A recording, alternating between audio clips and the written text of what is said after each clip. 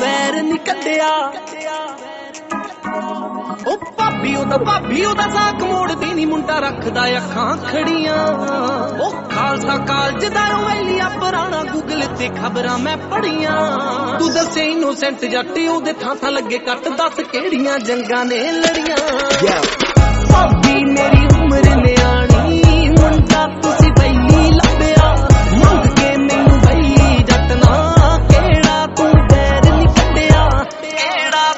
ਤੂੰ ਬੈਰ